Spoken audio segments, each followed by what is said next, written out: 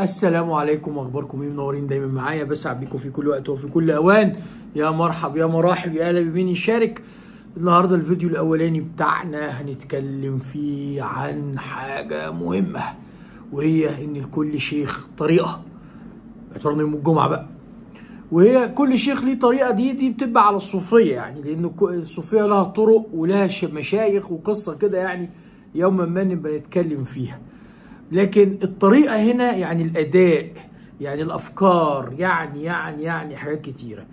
من هنا عاوز أقول لكم أن هناك طريقة أخرى الآن في كرة القدم وبين جمهور نادي الزمالك بسبب لاعب نادي الزمالك الكبير شيكابالا نعم هناك طريقة شيكابالا طريقة شيكابالا اللي مخلية ناس كتير تبقى زعلانة وتحكي حكايات وتعمل موضوعات وتدور على أي حاجة عشان تشوه محمود عبد الرازق شيكابالا. يعني إيه؟ يعني ما طلع صلاح باشا يتكلم عن شيكا وإن شيكا تواصل معاه وقال له مش عارف إيه. وبعدين طلعوا بوست مضروب إن شيكا بيقول له عشمان فيك ومش عارف إيه إنك تحتفل زي. وبعض الناس صدقت. الحكاية لازم نسأل نفسنا. هو ليه جمهور النادي الأهلي مش بيحب شيكابالا؟ هيقول لك أصله رفع الحذاء أصله كان بيتخانق معاهم ومرة تانية وتالتة ورابعه شيكابالا لما عمل الحاجات دي لها أمور مسجلة يعني مش فيها حصل بعد ما الجمهور شتمه وأهانه وشتايم لا داعي إن إحنا نتكلم فيها. ويعني وآخرها اللي أنتوا عارفينه بقى اللي حصل في السوبر من سنتين ولا من آه من سنتين ونص. إيه الحكاية؟ يعني بقى مش حلو. وما بحبش اتكلم في الأمور اللي من النوع ده لأنه عيب. عيب إنه يتقال.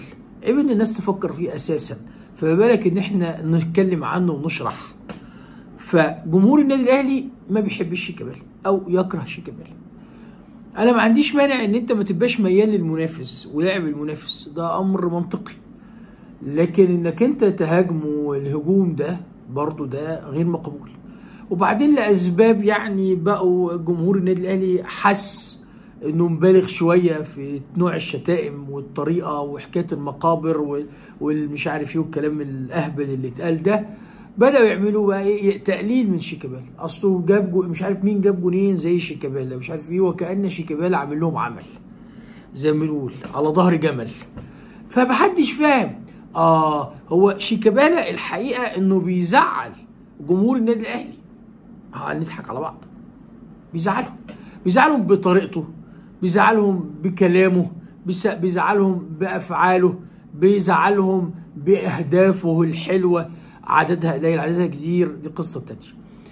لكن من اللحظة الأولى هناك عداوة واضحة جدا بين جمهور الأهلي وبين شيكابالا الحقيقة إن شيكابالا اتورط فيها وقعد فترة واقع فيها لكن مع وجود مع أو رزق ربنا لشيكابالا بآدم فربنا يحفظه تحول لشيكابالا. صحيح في مشهد حصل السنة اللي فاتت لكن كان مشهد مش خاص بشيكابالا مش غضب شيكابالا لشيكابالا لكنه كان غضب. وأنا بالنسبة لي وقلت الكلام ده ما كانش حلو يعني. وشيكا زعل مني على فكرة. زعل. ومش عايز يعني ما تحورناش بس أنا عارف إنه زعل وجالي كلام إنه زعلان وبتاع. لكن أنا مش هغير رأيي في إن اللي عمله شيكابالا يوم المباراة التتويج كان غلط ما كانش دوره. ولكن المرة دي لما كان هو مختلف ومنفعل ما كانش منفعل لشيكابالا كان منفعل لزملائه. وهنا ده تغير كبير جدا لأن 99% من انفعالات شيكابالا السابقة السابقة كانت انفعالات شيكابالا لشيكابالا. لكن المرة دي هي انفعال أو اللي حصل ده كان انفعال شيكابالا لزملاء شيكابالا. خلاص؟ لزملائه. وبعدين الطريقة بتاعت الكاس والتحرك يقعدوا يقلسوا عليه ومش عارف إيه وبتاع واصله ما بيلاقيش بتاع فيقوم هو هيعمل حاجة جبارة جدا. تعالى يا أيمن خد الكاس تعالى عارف إيه الموضوع يعني ما كانش احتفال. وبعدين جه الشائعة بتاعت الملاكمة وضربوا بعض بالبوكس هو وأخونا زيزو. فتحول الاحتفال في بعد الأهداف إلى قصة الملاكمة دي. يعملوا الحاجة دي. لقطة جميلة. وإشارة إن مفيش حاجة. واحتفال حلو. وإنه اللعيبة وهنا بقى الموضوع. أول ما الصورة ظهرت وإن اللعيبة بتعمل كده اللي في منتخب الشباب. بالظبط زي ما أنا عملت كده. يعني صلاح باشا الأهلاوي. آه ما هو لاعب في نادي آه، لاعب شباب في النادي الأهلي. قصة مرة في يوم من الأيام كده بحكي يعني كيف التقيت ورأيت صلاح باشا وأخوه في النادي الأهلي؟ مم، في سنة 2000 مثلا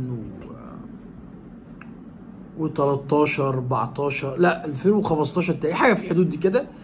يبقى نتكلم فيها في يوم من الأيام يعني. هو ما يعرفنيش يعني هو كان لسه شاب داخل النادي الأهلي يعني أو لاعب.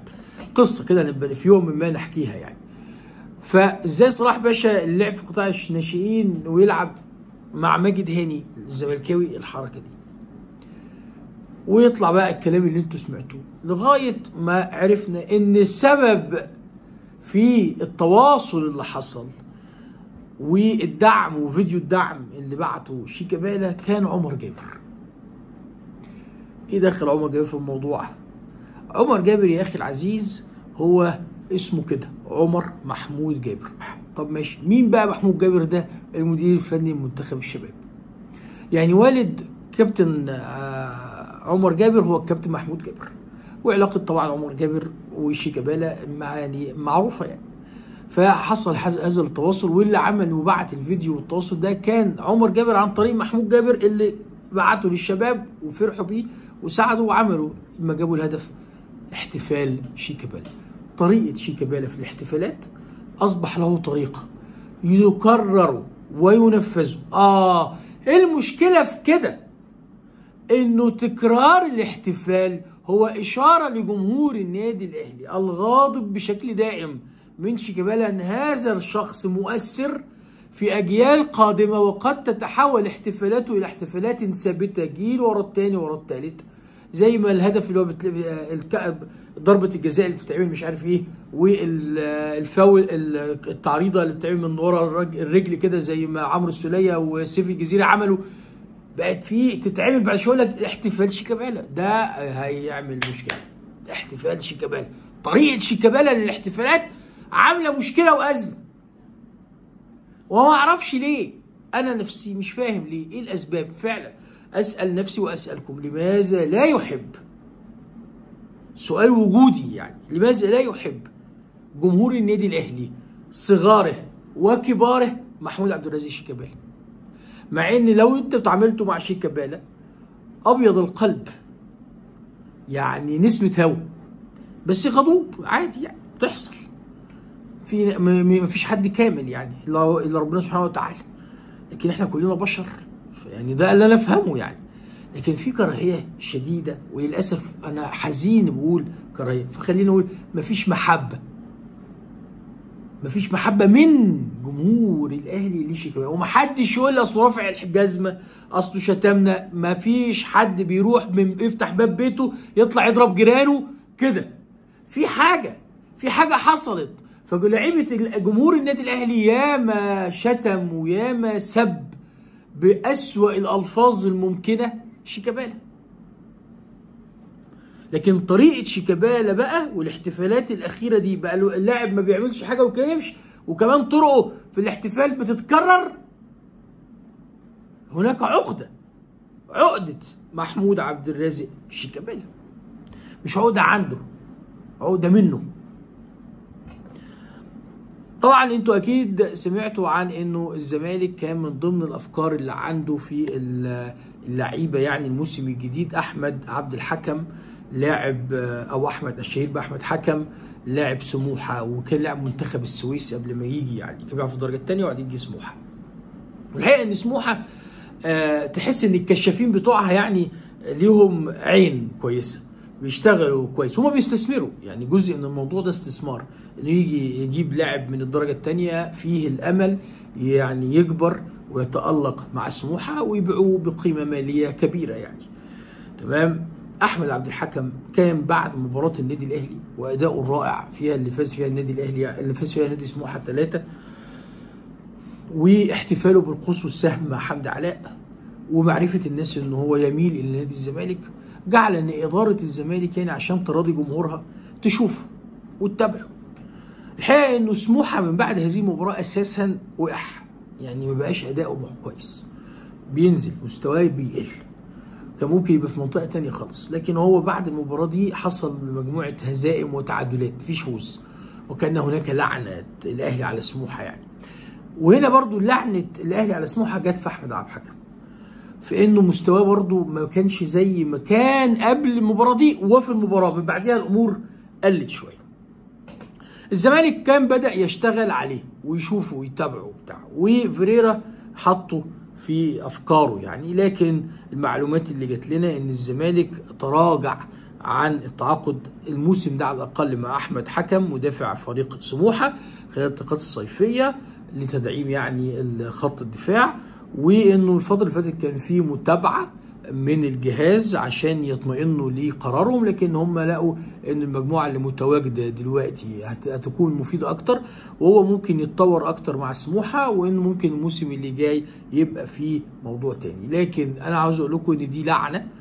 دايما كده زمان لما كان الزمالك في فترته السيئة في العشرية السوداء وكان في فرق معينة كده تهزمه فتلاقي إن الفرق دي بعد ما تهزم الزمالك مستواها يقع كده وينهار. آه فعلا. وكمان ممكن تنزل درجة تانية. رغم إنها ممكن كل عملته إنه فازت على الزمالك أو تعادلت معاه. فبالظبط كده بيحصل إن كان الزمالك يقول لك هناك لعنة. إن هو عشان أنتوا عملتوا معانا كده يعني. فأحمد عبد الحكم وفوز سموحة والنتائج السيئة وعدم الأداء بشكل جيد خلال الفترة اللي فاتت بعد مباراة النادي الأهلي أدى لأن الزمالك يتراجع في إن هو يضم أحمد حكم. طيب أنا عاوز أقول حاجة برضو سريعة كده إن كنتم تسمحون لي بهذا. اولى هذه الأمور أو الموضوع الوحيد يعني اللي هتكلم فيه دلوقتي خاص ب انه أشعر الآن أن هناك خطر. أنا أشعر الآن أن هناك خطر على بطولة الدوري للزمالك. في بعض الأجواء المحيطة الآن تقلقني. الأجواء دي أخشى أن تؤثر على فريق الزمالك لكرة القدم. ونتأثر جميعا بعد ذلك. وإنه لازم الأجواء المحيطة بنادي الزمالك من غضب ومن انفعالات لا تكون لها أثر على فريق كرة القدم في نادي الزمالك. وانه مباراة فاركو بل مباراة الإسماعيلي مهمة جدا بل أن مباراة الإسماعيلي قد تكون إشارة للي أنا بقوله. لازم نبقى عندنا اهتمام أكبر. صحيح نادي الزمالك هو الأقرب إلى الفوز بالدوري وأنا بقول إن ذاك يتوج بالدوري يوم 23 آغسطس قصاد الاتحاد السكندري. لكني أخشى الآن الأجواء المحيطة بنادي الزمالك أن تؤثر على اللعيبه ما بين إن يكون هناك غرور وما بين إن المشاكل المتتالية والمتوالية في داخل الوسط الرياضي تؤثر على إيه؟ لعيبة نادي الزمالك. متمناه إن فيريرا يقدر يتعامل مع الموقفين دول أو المواقف دي وإن اللعيبة تتعامل مع الموضوع صح لأن هناك الآن خطورة على بطولة الدوري بالنسبة لنادي الزمالك. وأتمنى أن يكون حدسي خطأ وظني خطأ كما أتمنى وكما أرغب لكن ما يحدث يجب أن يهدأ وأنتم تعلمون يقينا ما أقصده. وإن الأمور لازم تكون أكثر هدوءا على الأقل لحين مرور الفوز بالدوري.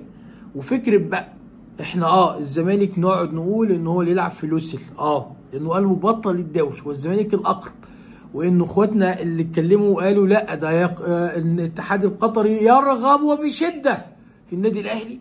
هذا أمر غير صحيح وثبت بالتوقيع العقد والاتفاق اللي موجود بين اللوسل أو الاتحاد القطري والاتحاد المصري إنه بطل الدوري السعودي وبطل الدوري المصري. اللي هو ما يعرفوش لغاية دلوقتي. آه الأقرب له بنسبة 90% هو نادي الزمالك. لكن كل الأجواء دي يا جماعة بدأت تقلقني. عشان كده أطلق الآن إشارة تحذير. للعيبة نادي الزمالك ولجهاز نادي الزمالك فلتحذروا وتستعدوا لأن ممكن يكون هناك يعني تأهب لازم تتعاملوا معاه بشكل جيد. مباراة فاركو مباراة مصيرية وبعديها مباراة الاتحاد. ليه بقول فاركو مصيرية؟ لأن الفوز على فاركو اللي أنا بتمناه وبقول إنه ممكن يبقى أكتر من 2-0 كمان هيفرق. ينهي ينهي مش هزار. سينهي المنافسة رغم إن لسه على الورق لسه على الورق. في إيه؟ أمل. آه لكن ازيك هيقابل الاتحاد والمصري وإيستن المباريات دي ازيك يستطيع إن ياخد ثلاث نقاط منها؟ فالمباراة بتاعت فاركو هي المباراة الفاصلة لهذا الموسم. ننهي الأمر. بعد ماتش بيراميدز فاركو. تفوز على فاركو يبقى أنت كده في منطقة الأمان. ناقص لك ثلاث نقاط من ثلاث هيستطيع نادي الزمالك الحصول عليها. وممكن تبقى على طول في المباراة اللي بعديها الاتحاد السكندري. لكن لازم يبقى هناك تحذير وحذر. فأنا أحذر ويجب على لعيبة الزمالك أن تكون في حالة حذر. أشوفكم على خير في اللي جاي إن شاء الله.